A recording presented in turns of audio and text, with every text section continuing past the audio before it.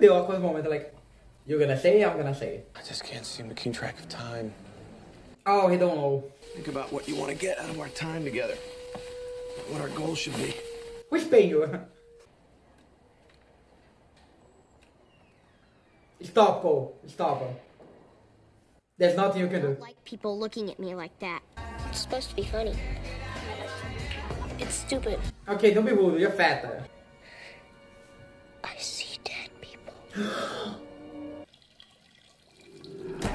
My God.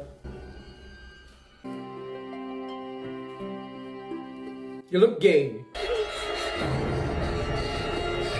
Can you leave it? Is that cleaning product? Do I make her proud? I'm gonna die.